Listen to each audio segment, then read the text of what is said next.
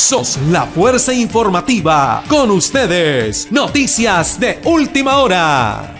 Hola, ¿qué tal a todos los usuarios de nuestro Castro Canal y a quienes se unen por primera vez? Les enviamos un fuerte abrazo de bienvenida a nuestra sección de noticias diaria acerca de lo que está pasando en Estados Unidos, en Venezuela, en Colombia y en el continente latinoamericano. Muchas gracias por el apoyo para nuestro canal y de verdad apreciamos su tiempo y por eso nos esmeramos en traer buen contenido para todos los que siguen noticias de última hora. El Eterno les envíe muchas bendiciones en sus hogares y estos son nuestros titulares. Aquí comienzan las noticias más importantes de última hora. Hay revuelo mundial por las advertencias lanzadas por Nicolás Maduro a la Unión Europea después de haberse solicitado la expulsión de la embajadora en represalias por las aplicadas sanciones a los funcionarios y parlamentarios chavistas.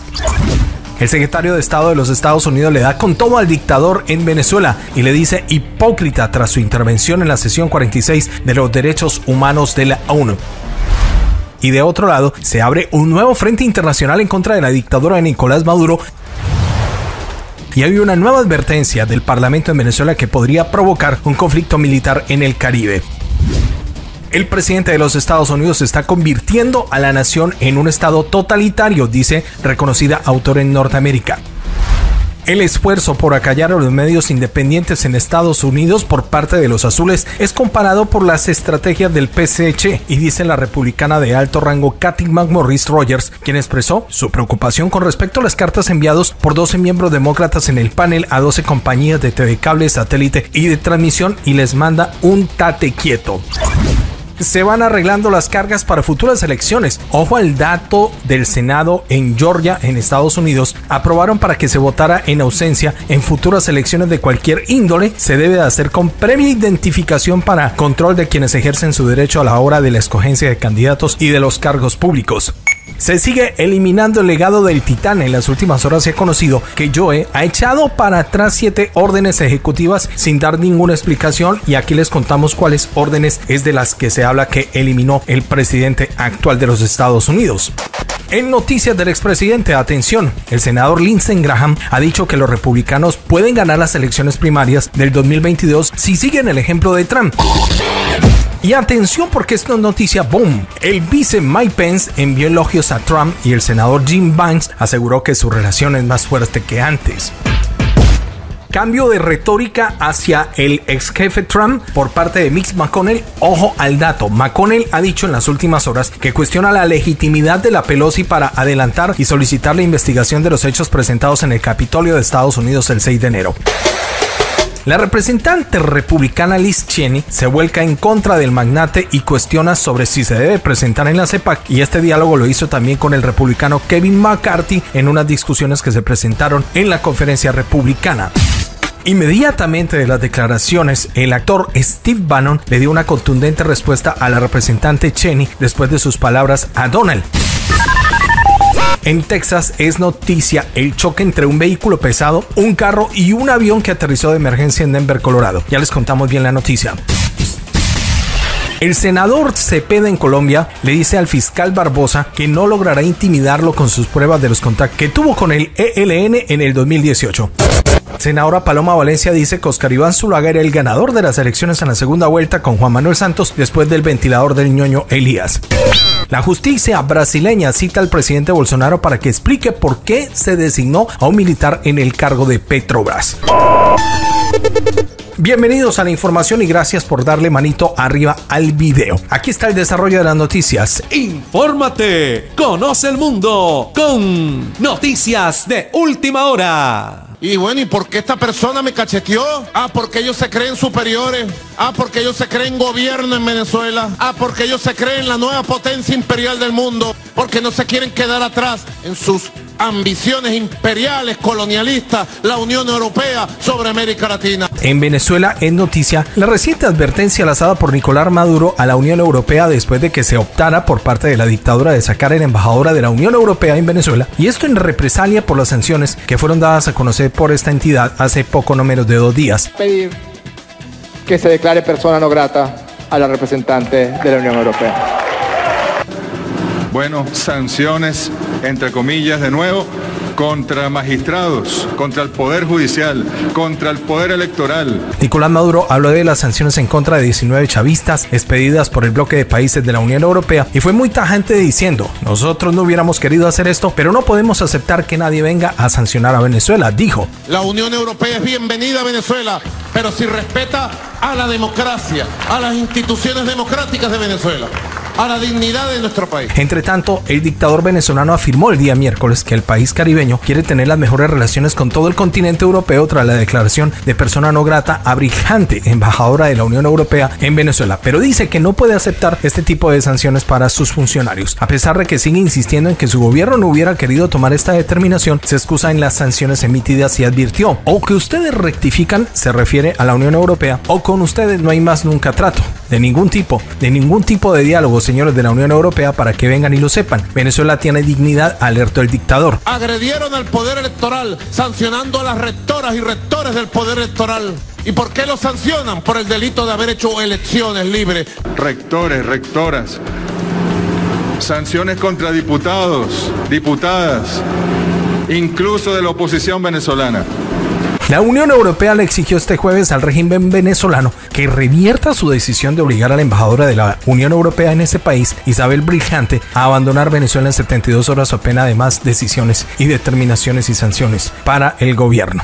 En el siglo XXI, la élite, la cúpula de la Unión Europea cree que puede dirigirse a los países de América Latina como que fuéramos colonia. De otra parte, se forma un frente internacional liderado por el gabinete del Dormilón para enfrentar la dictadura de Nicolás Maduro, en el cual se busca a través de este frente en la Organización de las Naciones Unidas denunciar crímenes cometidos por el régimen venezolano a través de su filosofía de multilateralismo en el escenario internacional y así promover agendas en favor de los derechos humanos. Blinken, elegido como secretario de Estado por el nuevo presidente Joe Biden, prometió el martes revitalizar las alianzas para contrarrestar las amenazas planteadas por Rusia, Irán y Corea del Norte. Así fue como se conoció la intención de que Estados Unidos vuelva al Consejo de Derechos Humanos de la ONU y exponer al régimen venezolano, al régimen ruso y al gobierno de Xi Jinping, y también a la isla de Cuba. Blinken, secretario de los Estados Unidos, fue muy enfático afirmando que entre los miembros de la ONU haya frecuentemente autoritarismos y también fue duro diciendo que aquellos que tenían registros de derechos humanos no deberían de estar en el Consejo siendo claro, refiriéndose a países como Rusia, China, Venezuela y Cuba. Blinken aseguró que buscará un pacto con Irán más fuerte y duradero, luego de que el presidente Donald Trump abandonara en 2018 de manera unilateral el acuerdo nuclear de 2015. De otra parte, el senador de los Estados Unidos, Rick Scott, fue duro contra el dictador Nicolás, después de que hiciera sus declaraciones en la sesión 46 de los derechos humanos de la ONU y le dijo que es un hipócrita. El legislador y el exgobernador de Florida dijo este lunes que su país no debería financiar una organización que se hace el de la vista gorda con los derechos humanos. Esto dijo el senador en sus redes sociales. El Consejo abrió el lunes la sesión 46 dando una plataforma para Maduro, un dictador despiadado que está oprimiendo brutalmente a la gente de Venezuela, se lamentó el republicano en su cuenta de Twitter. Britt Scott también dice, la hipocresía del Consejo se nota en que permite a los dictadores sentarse en la mesa. Y seguimos con más noticias de Venezuela. Hoy, mucha atención en las más recientes advertencias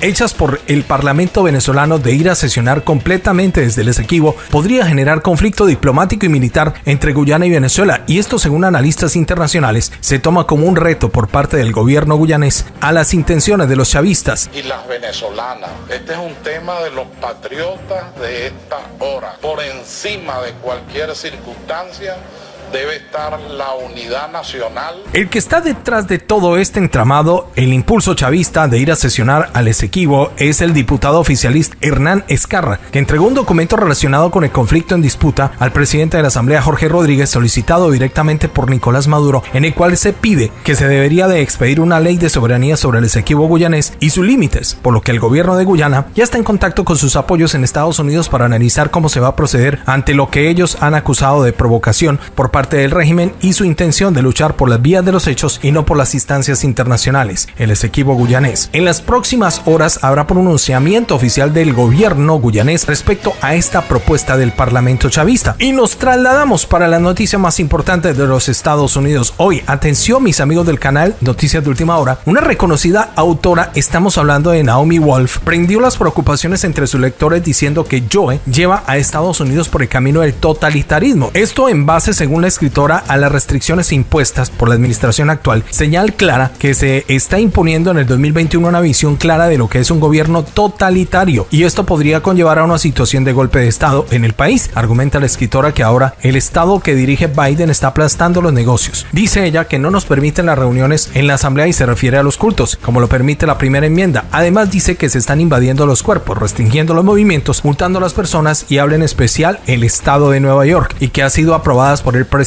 Y eso lo dijo en el programa con el presentador de Fox News Tucker Carlson, según el diario Summit News. Refuta lo que el presidente dice que según ella se está excusando en la crisis de la salud como pretexto de una pandemia médica real y que la situación del país la enfrente con la unión de todos los movimientos, dice la señora Wolf, quien fue asesora del expresidente Bill Clinton. Trasciende todo aquello en lo que usted y yo podemos estar en desacuerdo o en acuerdo. Esto debería unir a la izquierda y a la derecha para proteger nuestra constitución, dijo Wolf, y se mostró arrepentida de haber votado por el dormilón, quien fue también asesora del expresidente Bill Clinton y se mostró, como ya lo decimos, de haber sufragado apoyando al partido actual que dirige Estados Unidos. Wolf insiste en que conviene despertar oportunamente. Dice lo siguiente, palabras textuales, escuchen bien mis amigos. Realmente espero que despertemos rápidamente y advirtió y agregó que la historia también muestra que es una pequeña ventana en la que se puede luchar antes de que sea demasiado peligroso. De otra parte de la información, hemos conocido de primera mano que una máxima voz republicana y que hace parte de la Cámara en el Comité de Energía y de Comercio de la Cámara de Representantes en los Estados Unidos, y mucha atención porque esto es un tate quieto a los comunistoides que quieren acallar a los medios independientes de los Estados Unidos. Ella misma, hablamos de Kathy McMorris,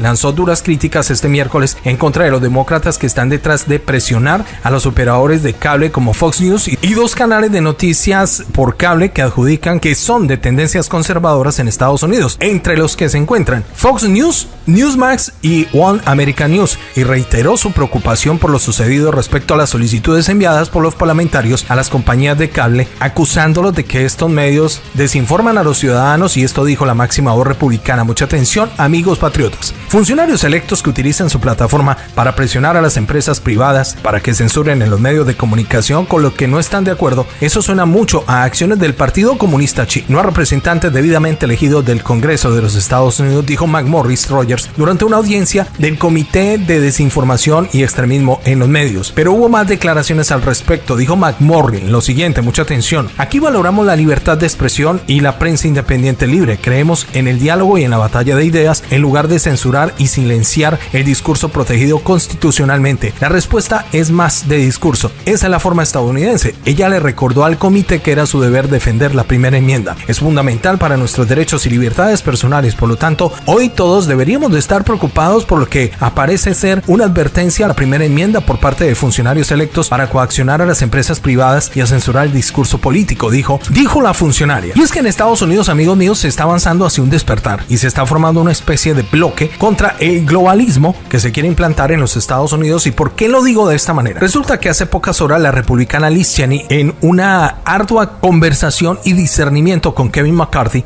y con Steve Scalise, que ustedes saben que son republicanos y que apoyan el legado de Liz Cheney es una enemiga aférrima del expresidente. Mucha atención porque esta señora dijo que el presidente Trump no debería presentarse a la conferencia de la CEPAC. Dijo que el expresidente no debería presentarse a la conferencia de la CEPAC y que él no debería desempeñar ningún papel en el partido. Por sus palabras, creemos que esta señora tiene miedo del poder popular del titán y teme de sus avances en el proyecto político. Bueno, pero siguiendo con el tema, el actor Steve Bannon salió a refutar sus declaraciones y a defender el legado del expresidente y le dice a Cheney que primero debemos deshacernos de los criminales y que ella es una de las que persigue criminalmente al expresidente y a la gente de su administración y le dice a la parlamentaria el acto que ella no entendió su misión y sus palabras las tomó como un desafío donde usar el cargo de la biblioteca Reagan para decir mentiras es detestable y le vuelve a reiterar a Bannon que primero hay que deshacernos de los criminales de conflicto que hay en medio del Partido Republicano y señala que esa es su familia y su tarea. Habrá que investigar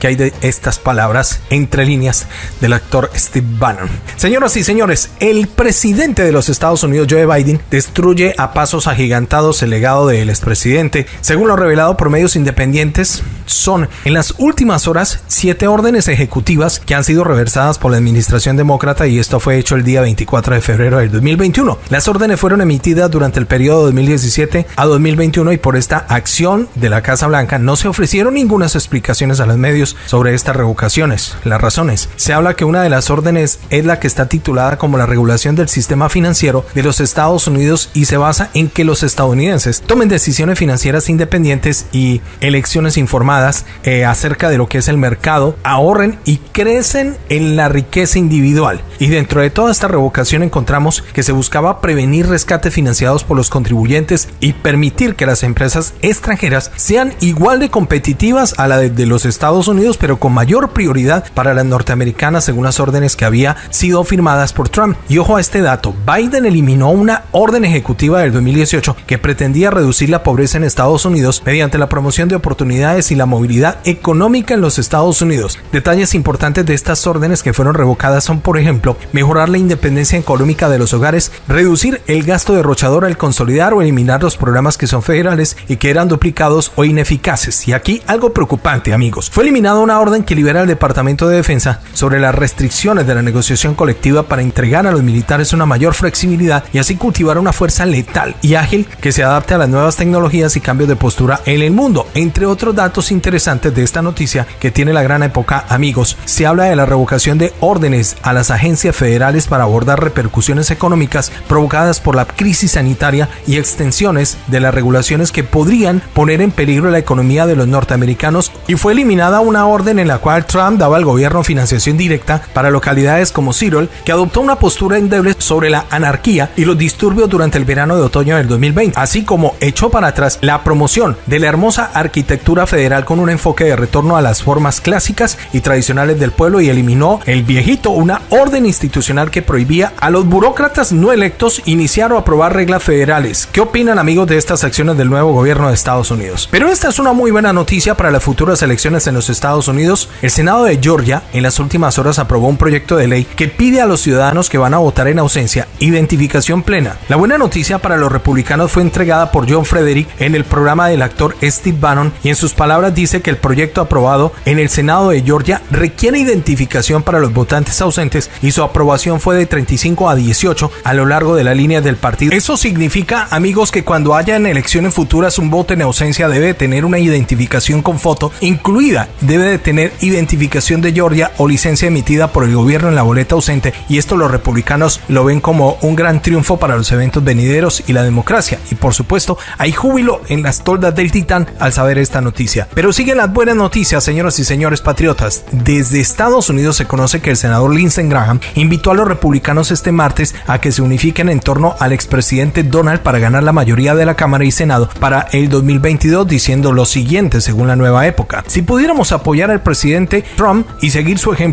ganaremos en 2022. Si discutimos con nosotros mismos, perderemos y no hay razón para perder, dijo Graham a Hannity de Fox News el martes. Habló de la división en el partido después de la absolución del titán en el Senado, en donde criticó las posturas de McConnell y otros en contra del expresidente. Además, en una conferencia del Partido Republicano este miércoles hubo ya, como les contamos, contraveniencias entre quienes defienden al magnate y quienes están en contra casos como el de Cheney en eh, el Senado de los Estados Unidos. McCarthy dijo que Donald debería desempeñar un papel y Cheney dijo que se opone a que el expresidente juegue un papel en este partido. Entre tanto, amigos de noticias de última hora, Graham ha apoyado las políticas de la administración de Trump y dijo en numerosas ocasiones que el expresidente ha sido uno de los más trascendentales de la historia. Lo dijo a Hannity, que recientemente había pasado el fin de semana con el expresidente y se siente positivo sobre el papel de Donald en el Partido Republicano y sus políticas, especialmente en materia de inmigración. Pero señoras y señores, esto se pone bueno. ¿Será que algo está pasando con el romance entre la momia de McConnell y la Pelosi? Porque según informes independientes, McConnell al parecer se quiere distanciar de ella y lo dejó entrever con su reciente crítica a la legitimidad que tiene la Pelosi de solicitar una investigación criminal de lo sucedido en el Capitolio y que se lo indilgan al expresidente Trump. Como dicen muchos por ahí, la política es dinámica y la nota dice lo siguiente. Ojo al dato. Este miércoles McConnell criticó a la comisión propuesta por la representante y presidenta de la Cámara Nancy Pelosi para que se investiguen los hechos del 6 de enero en el Capitolio de los Estados Unidos y calificó la posición de la demócrata como partidista por el diseño de la petición. El Congreso aún tiene que finalizar la estructura de la comisión, pero Pelosi dijo que se basará en la establecida por el presidente George Bush para examinar los arremetidas terroristas del 11 de septiembre a la ciudad de Nueva York y el Pentágono. Sin embargo, se informa que los líderes demócratas habrían propuesto un panel que tendría siete miembros designados por su partido, incluidos tres elegidos por el presidente con poder de citación y cuatro de los republicanos. McConnell discrepó la representación desigual y la autoridad de citación desequilibrada diciendo que esta investigación no será visto como un esfuerzo bipartidista legítimo por parte del público. Es decir, está sacando las garras la Pelosi a McConnell. Entre tanto, esta noticia es boom político, muchísima atención. Mike Pence le hace un guiño al expresidente Trump. Tal parece que las cosas quieren retornar a su principio, de ex vice a expresidente. Y es así como en las últimas horas, amigos, se ha conocido que en la conferencia republicana el villano de la película Pence envió mensajes loables y de elogio para con su antiguo jefe Trump. Dijo uno de los senadores presentes como Jim Banks, republicano por Indiana, dijo que Pence habló muy bien de su relación con el presidente, al contrario de lo que dicen los medios tradicionales, que solo quieren crear división en el Partido Republicano. Dijo el senador que discutieron temas del partido, los logros del titán como presidente de la República, así como los caminos que van a seguir para una futura presidencia conservadora, y aseguró que el vice saldrá de la palestra pública muy pronto y que desde las toldas republicanas estarán construyendo una férrea defensa de lo que fue el mandato de Pence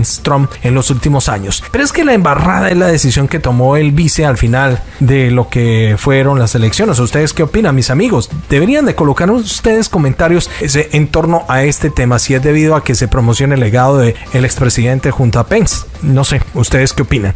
Amigos, para terminar con noticias de Estados Unidos, se conoce que hubo varios incidentes que alteraron la tranquilidad en varios estados del país. Según las autoridades, un vuelo de la compañía United Airlines sufrió fallas en uno de sus motores después de haber realizado un despegue en Denver, Colorado, el día sábado, pero por fortuna aterrizó de manera segura después de arrojar escombros sobre el norte del estado mencionado. El avión cubría la ruta Denver-Hawaii y era un Boeing 777 con 10 tripulantes y 231 pasajeros a bordo. En redes sociales los pasajeros filmaron los momentos de susto cuando una de sus turbinas estaban en llamas y el motor estaba dañado y humeante. Entre otros hechos, un tren chocó con un vagón cisterna en el estado de Texas en la FM 2095 en Cameron. Se produjo una gran explosión en el lugar de esto. Ocurrió a las 7 de la mañana. El tanque se incendió y se volcó el conductor del camión. Sobrevivió al impacto y todo el personal del sector está a salvo, dicen los alguaciles. El tren y el camión de 18 ruedas chocaron, como decimos en Cameron, provocando un gran incendio. El tren transporta petróleo, es de propiedad de Berkshire Hathaway en Warren Buffett y transporta productos petrolíferos ferroviarios que de otro modo serían transportados de manera segura y más ecológica por el oleoducto Kingston XL. Para muchos analistas esto es un desastre mucho más sentido porque muestra las malas decisiones de Biden que ya está dañando al país. Señoras y señores, en Noticias de Colombia, el senador Iván Cepeda le dijo al fiscal Barbosa que no lograrán intimidarlo. Según el congresista, todo lo que está pasando en estos momentos alrededor de los contactos que tuvo con el ELN en 2018 hace parte de una persecución política en su contra en la polémica por un posible contacto no autorizado entre el senador del Polo Democrático y el máximo jefe de liberación Nicolás Rodríguez alias Gavino. Al parecer la Fiscalía General de la Nación encontró pruebas de ello el martes 23 de febrero luego de hacer una requisa a la oficina del Alto Comisionado para la Paz Miguel Ceballos. El reporte que lo hizo la empresa de radio Caracol dice que la Fiscalía asegura que Cepeda no contaba con la autorización para dicho encuentro que tuvo lugar en el 2018 y que al parecer se habló de un viaje a Cuba para adelantar conversaciones de paz como había sucedido en ocasiones anteriores. De acuerdo con RCN Radio, Cepeda asegura que el fiscal tiene un intento de persecución política que a su modo de ver se puede deducir fácilmente y que tiene en la controversia que ya ha hecho de manera pública sobre la forma en que la fiscalía estaba consumiendo el caso del el ex senador Álvaro Uribe Vélez. En ese sentido, cabe recordar que Cepeda dijo públicamente hace poco menos de 15 días que desde el caso Uribe, por manipulación de testigos, llegó a la fiscalía, no ha habido garantías e incluso remitió un documento de 40 preguntas a dicha entidad, agregando que Gabriel Ramón Jaimes, fiscal encargado del proceso, iniciado hace 8 años por la Corte Suprema de Justicia, no ha hecho ningún esfuerzo en examinar el modus operandi que demuestra la práctica de acudir a falsos testigos para favorecer a los hermanos Uribe Vélez en las investigaciones adelantadas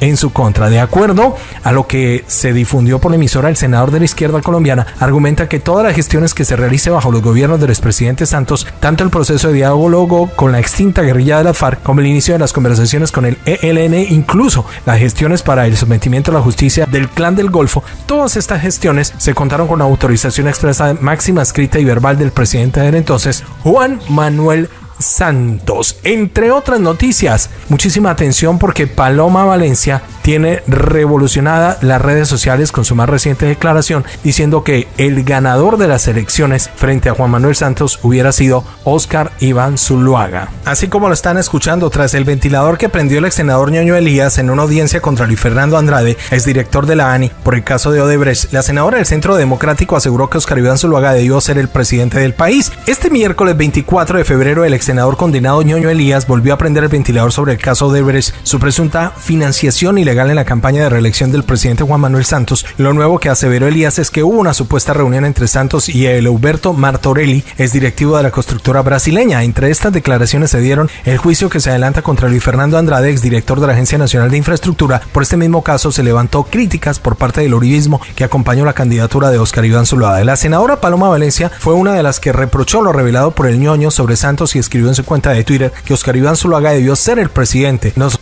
la elección, nos quitaron la elección y para hacerlo se llevaron la plata de todos los colombianos dándoles contratos a Odebrecht. Estas fueron las palabras escritas de la senadora a través de su cuenta de Twitter. ¿Ustedes qué opinan, mis amigos? Llegamos a la parte final de este contenido. Los invitamos a dejarnos sus comentarios, a que se suscriban a nuestro canal, a que activen la campanita roja de notificaciones y por supuesto gracias por el apoyo. Que Dios los bendiga y nos escuchamos en el próximo contenido. Somos la fuerza informativa con ustedes. Noticias de última hora.